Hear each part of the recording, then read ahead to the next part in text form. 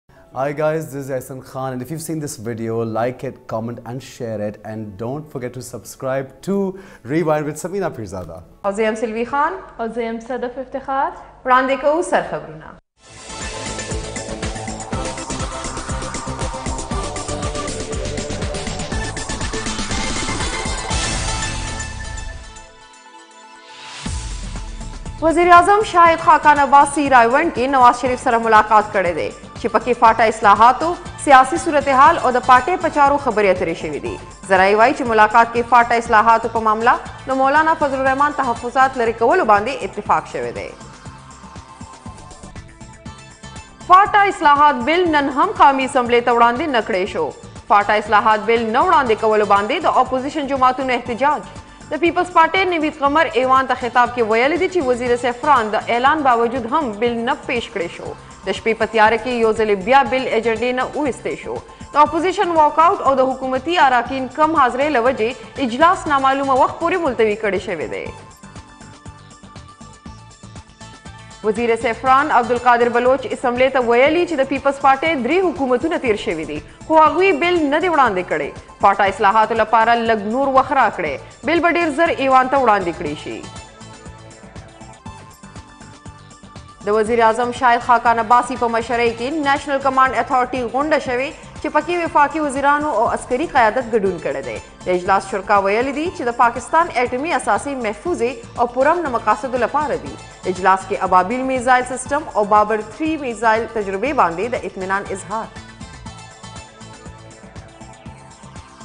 په سفارتي سطح د پاکستان لویه کامیابي هارټ اف ایشیا کانفرنس اعلامیې نه د پاکستان په مطالبه د ترهګرو تنظیمونو لیست ویستل شوی دی بھارت دغه لیست د پاکستان بدنامولو لپاره استعمالولو د خارجه دفتر ویان هفتوار بریفنګ ډاکټر فیصل د امریکای سلامتی پالیسۍ کې په پاکستان لګول شوی الزامونه رد کړي او هنګو کې سیکان په زور مسلمانولو خبرونو تردید هم کړی دی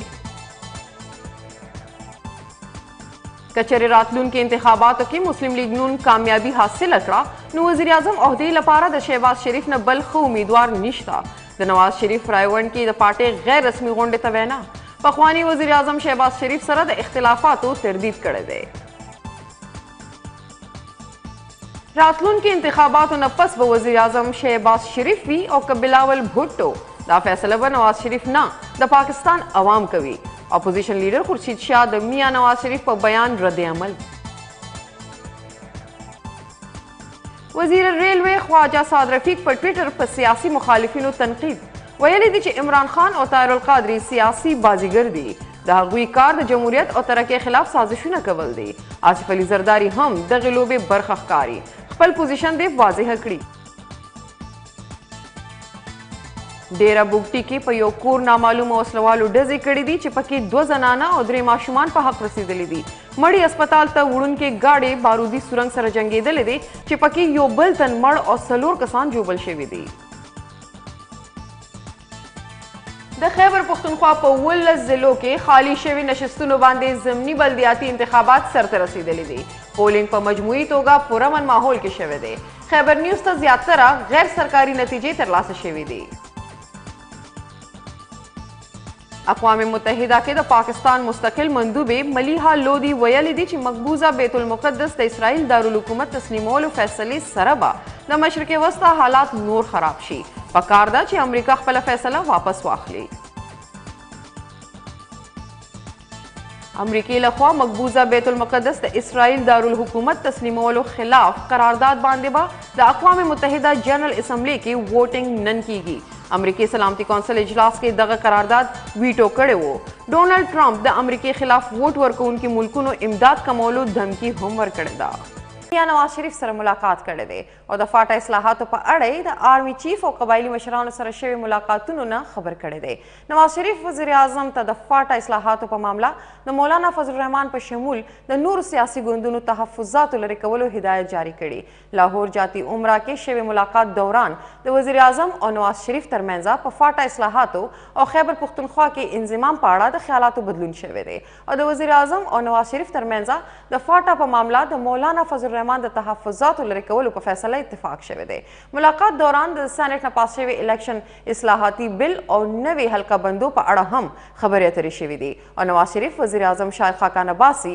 او شهباز شریف ته د عوامي رابطه مهم تیزولو هدایت ورکړي دي میا نواز شریف وزیراعظم ته د ترقیاتي منصوبو زر تر زره سرته رسولو هدایات هم ورکړي وزیراعظم سره شوی مهم ملاقات دوران میا نواز شریف د پاناما کیس او نیب ریفرنس په اړه هم وزیراعظم ته خبرداری ورکړی چې ټارګټډ احتساب به چرې هم قبول نه کړي او د جمهوریت لپاره هرې قربانۍ ورکولو ته تیار دی. په دغه موقع وزیراعظم شیخ خاقان عباسي هم نواز شریف ته ویلي دي چې مسلم لیګ نون د نواز شریف په مشرۍ کې متحد دی او د کال دوه زره اتلس په انتخاباتو کې به د نواز شریف په مشرۍ کې په انتخاباتو کې برخه اخلي.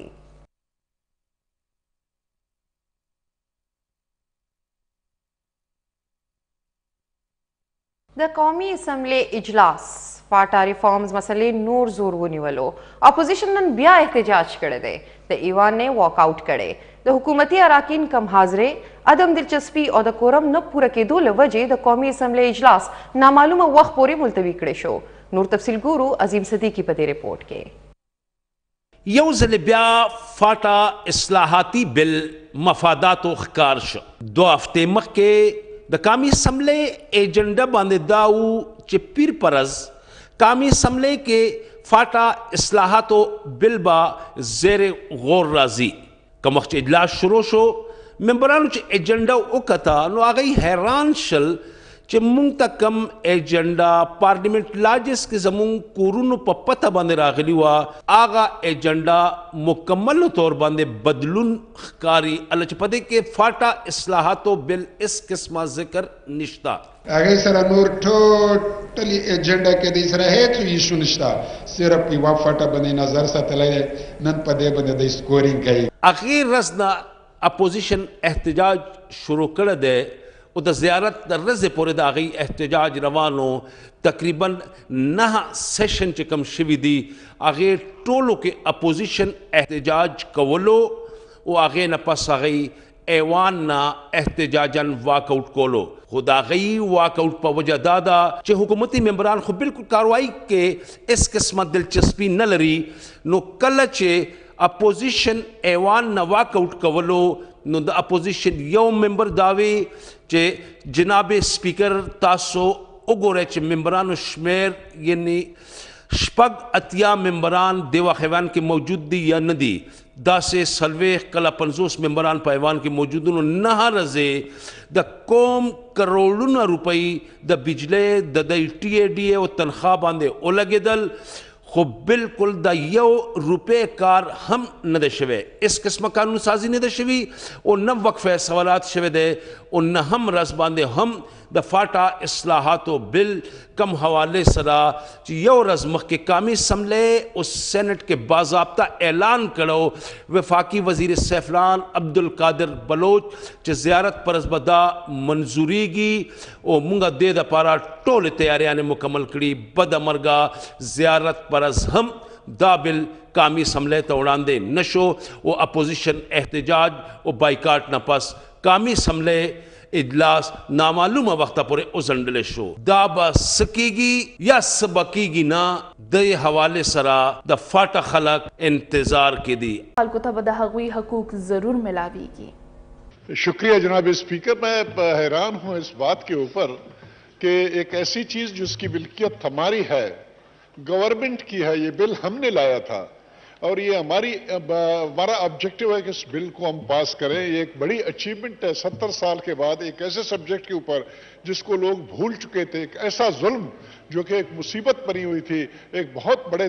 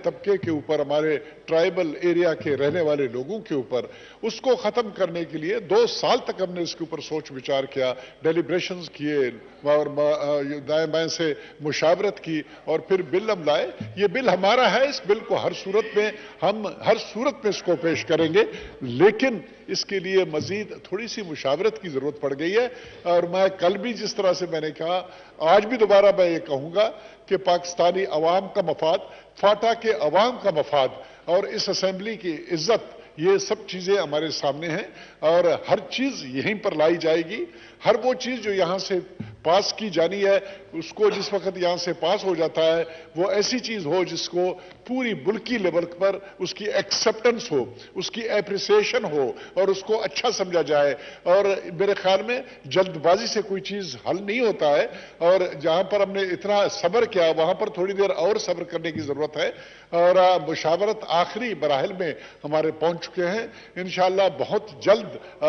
ایک نتیجے پر ہم پہنچیں گے اور جناب اسپیکر انشاءاللہ ہم آپ سے ریکویسٹ کریں گے تھوڑا سا موقع میں مزید دے دیں د جماعت اسلامي امیر سراج الحق ویلي دي چې د قبایلي سیمو ولس په خیبر پښتونخوا کې انضمام غواړي او موږ یې مرسته کوو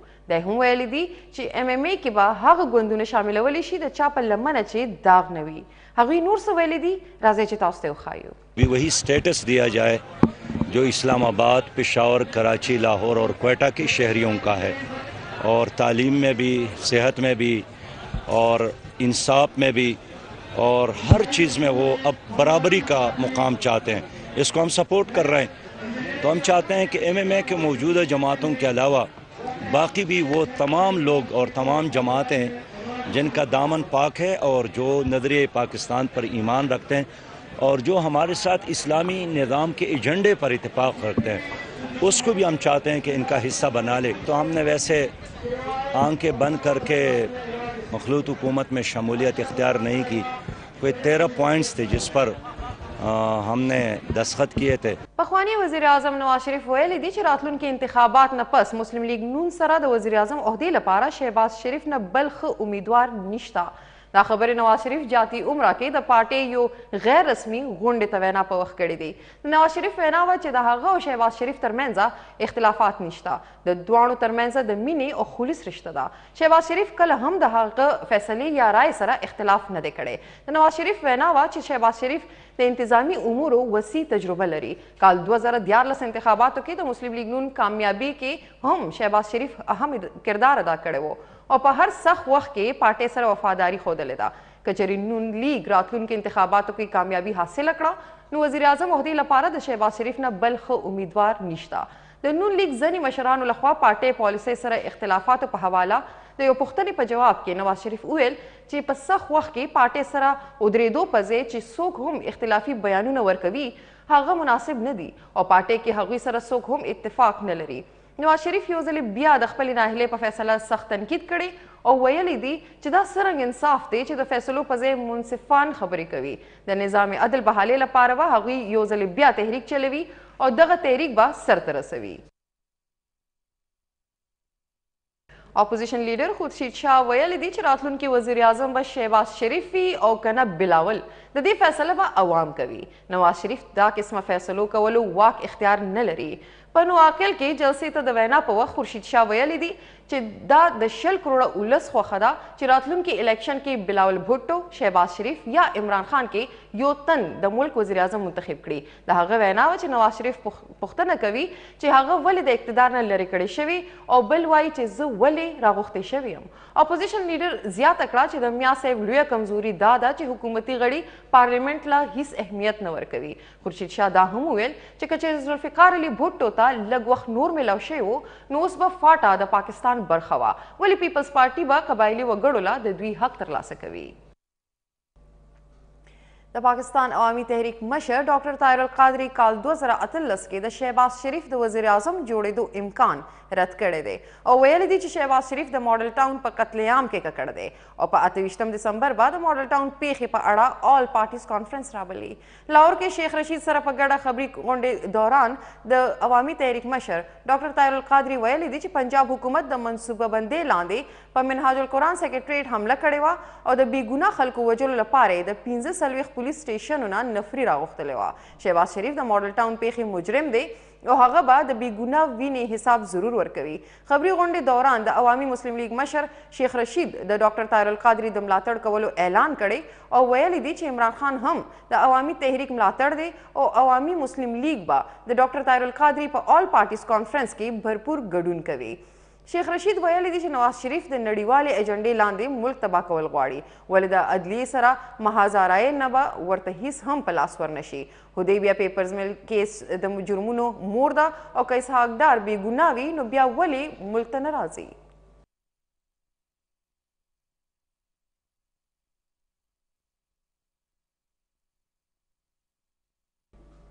د وزیر اعظم په مشرۍ کې د نېشنل کمانډ اتھارټي غونډه شوې ده غونډه کې د منطقې په سټریټیجیک حالاتو شرکا ته بریفنګ ورکړی شوی دی شرکا د هر قسمه حالاتو مقابلې لپاره په تیارو د اطمینان اظهار کړی دی د وزیراعظم شاهد خاقان عباسي په مشرۍ کې ترسره شوې غونډه کې د وزیر دفاع وزیر داخله چیئرمین جوائنټ چیفز اف سټاف کمیټې آرمي چیف ایئر چیف نیول چیف او نورو متعلقه چارواکو ګډون کړی و نېشنل کمانډ اتھارټي اجلاس ته ډي جي سټریټیجک پلانز ډیویژن بریفنګ ورکړی او ویلي دي چې ګاونډي هیوادونو د سرګرمو په وجه جنوبي ایشیا کې عدم استحکام پیدا کیږي په زیاته پیمانه د وسلو جوړولو او په منطقه کې د اټمي وسلو زغل ته وده ملاویږي د غونډې شرکا د ابابیل میزایل سیستم او بابر 3 میزایل تجربه باندې اطمینان اظهار کړی دی شرکا ویلي دي چې د پاکستان اټمي وسلې په محفوظ او د پرامن مقاصدو لپاره دي اجلاس شرکا دا هم ویل چې پاکستان د هر قسمه جاریت جواب ورکولو پوره طاقت لري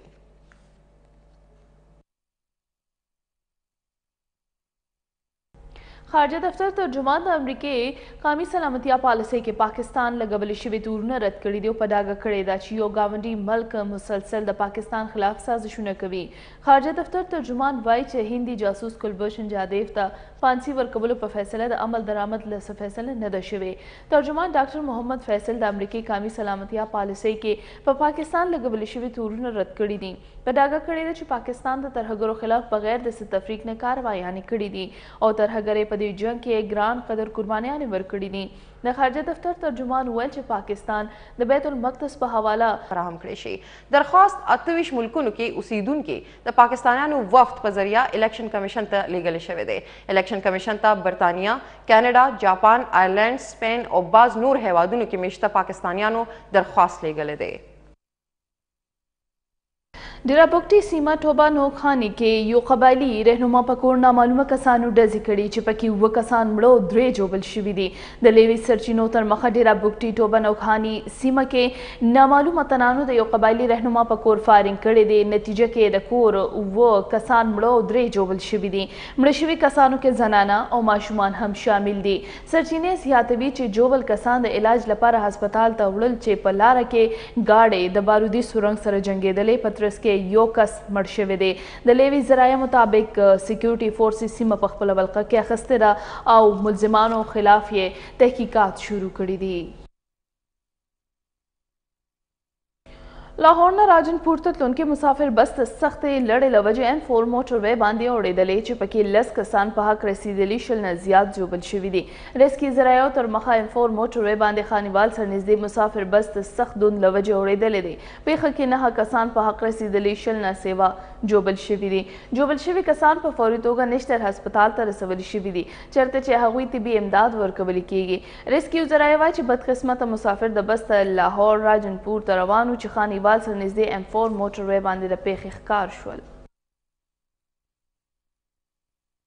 اسلام اباد احتساب عدالت کې خزانې پخوانی وزیر اسحاق ډار خلاف آمدن نه سیوا اساسې لرلو په حق لباندې نیب ریفرنس سماعت د راتلونکې کال جنورۍ میاشتې دویمې نیټې په ملتوي کړې شوې دي د قامي احتساب بیورو له اړخه د اسحاق ډار خلاف دغې ریفرنس سماعت ته احتساب عدالت جج محمد بشیر کړی دی.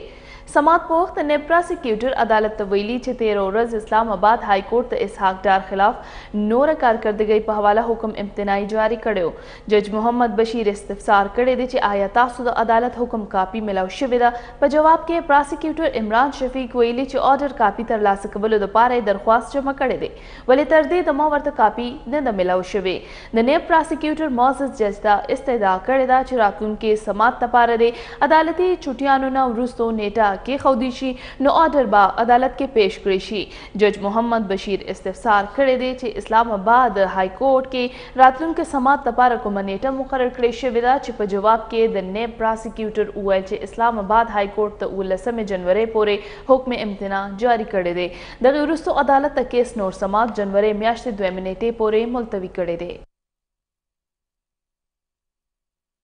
پنجاب وزیراعلی میا شهباز شریف ویلي چې چیف جسټس پاکستان جسټس میا ثاقب نثار مې او هسپتال دورې باندې هیڅ اعتراض نه لرم دا یې هم ویلي چې خیبر پښتونخوا حکومت اول د میټرو منصوبې مخالفت کو ولې بیا یې دغه منصوبې جوړولو لپاره قرضې اخیستې دي دا خبرې هغه لاهور کې دستورې ته وینا په وخت کړې دي میا شهباز شریف وینا وه چې مونږ له صفا نیت او اخلاص او ولس خدمت کوو زیاته کړې ده چې ملک په اویاو کاله تاریخ کې په اول ځل د وفاق منصوبې پنجاب حکومت مکمل کوي هغه مخکې وویل چې پنجاب حکومت په مرسته پنډۍ او اسلام اباد کې د میټرو منصوبې لپاره هیڅ قسمه قرض نه دی اخیستې شوې د خیبر پښتونخوا حکومت اول د میټرو منصوبې مخالفت کو بیا خپله صوبه کې دغه منصوبه جوړول لپاره قرضې اخیستلې پنجاب وزیراعلی دا هم وویل چې هغه ته چیف جسټس پاکستان جسټس میا ثاقب نثار میو هسپتال دورې باندې هیڅ اعتراض نشته. د مالاکنډ ډیویژن مختلفو ضلعو کې ضمني بلدیاتي انتخابات سرته رسېدلي دي چې پکې د مختلفو پارټو بلدیاتي نمایندګان کامیاب شوي. د الیکشن کمیشن ذرایعو د وینا تر مخه بره دیر تحصیل کونسل ګلدۍ تحصیل انتخابات د خراب موسم له وجې ملتوي شوي نو بلخوا د داروړۍ تحصیل باندې جماعت اسلامي تحصیل کونسلر کامیابي ترلاسه کړې دغه رنګ په یو یوت او یو جنرال نشستونو هم د جماعت اسلامي غړي کامیاب شوي کوز دیر تیمرګره، شاهي او ثمرباغ تحصیلونو باندې د جماعت اسلامي غړو کامیابي ترلاسه کړې. دغه رنګ کوز دیر دیارلس یوت او جنرال کونسلر نشستونو کې پنځه جماعت اسلامي، درې پي ټي آی، دوه پیپلز پارټي او دوه اې این پي ګټلې دي. ضلع سوات کې په اته یوت او جنرال نشستونو باندې د جماعت اسلامي دوه، اې این پي دوه، جمعیت علماء اسلام فې یو، پي ټي آی دوه او پي ایم ایل ان نون حمایتي یو تن کامیاب شوی دی. ضلع شانګله کې هم د یوت کونسلر په نشست باندې د مسلم لیګ نون حمایتي کامیاب شوی دی.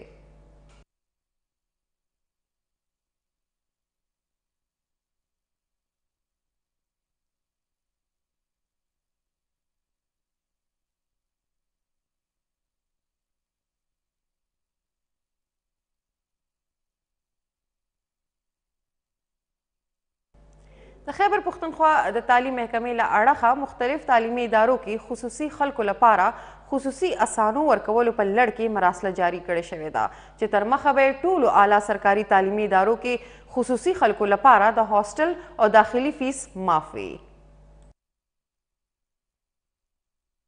تفصیلاتو تر مخه خیبر پښتونخوا تعلیمي ادارې له اړخه ټولو وایس چانسلرانو ډایریکټر های ایجوکیشن او کامرس ایجوکیشن ډایریکټوریټ ته د خصوصي خلکو د تعلیمي اسانو په لړ کې د خصوصي پیکج جوړولو هدایت جاری کړی شوی مراسله کې دا هم ویل شوی دی چې په تعلیمي ادارو کې د خصوصي ماشومانو لپاره د تعلیم ترلاسه کولو بیل بیل کلاسونه او اسانې ورکړې شي صوبايي وزیر مشتاق احمد غني ویلي دي چې د خیبر پښتونخوا حکومت د روغو خلکو په شان خصوصي خلکو لپاره هم د تعلیمي اسانو په لړ کې زړه پورې ګامونه پورته کوي ځکه چې خصوصي خلکو سره چې حکومت کم لوس کړی وو هغه نن پوره کړی شو هغه دا هم ویل چې په اعلی تعلیمي ادارو کې به خصوصي خلکو لپاره د هاسټل او داخلي فیس معاف وي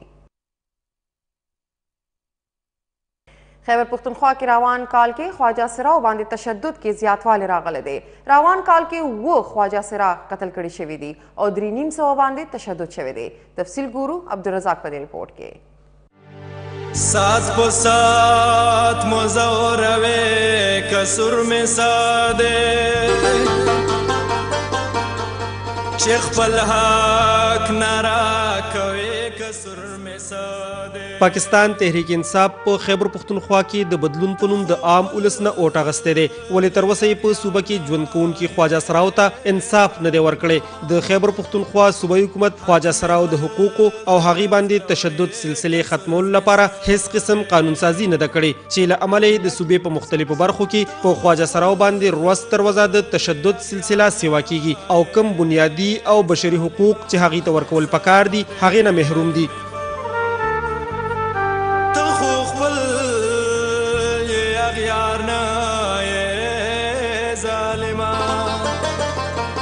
حق میں بل د خواجه سراو د حقوقو لپاره کارکونکي ادارې د یو رپورټ تر مخه په صوبه خیبر پښتونخوا کې روان کال و خواجه سرا قتل کړی شوی دی ولې درې سوه او پنځوس خواجه سرا د جنسي او جسماني تشدد ښکار شوی دی دغه رپورټ زیاتوي چې د خواجه سراو په قتل کې ملوث تر وسه پورې صرف دوه تنان پولیس ګرفتار کړي دي سرچینې وایي چې خواجه سراو باندې تشدد کې د خیبر پښتونخوا مثالي پولیسو اهلکار هم شریک پاتې شوي دي او دا چې کم تنان د خواجه سراو نه بته غواړي او بته نه ورکولو په نتیجه کې په هغې باندې تشدد کوي د هغې خلاف پولیس قانوني کاروایی نه کوي چې له امله یې په خواجه سراو باندې د تشدد سلسله د ختمېدو په ځای ورځ تر ورځه سیوا کیږي د پېښور نه خیبر نیوز لپاره عبدالرزاق نو ښار کې د بدرخو اوسیدونکي عالمګیر دریای کابل ته سره د خپلو دریو بچو دانګلي دي مقامي لامبوزنو عالمګیر بیهوشې حالت کې راوستی دی د یو د ماشوم لاش هم ملاو شوی دی ولې دوو لاشونو تلاش روان دی نو ښار سره نږدې د بدرخو کلي اوسیدونکي عالمګیر په کورنۍ لانجه سره د خپلو بچو ریلوې پول ته سیند ته ټوپ کړی دی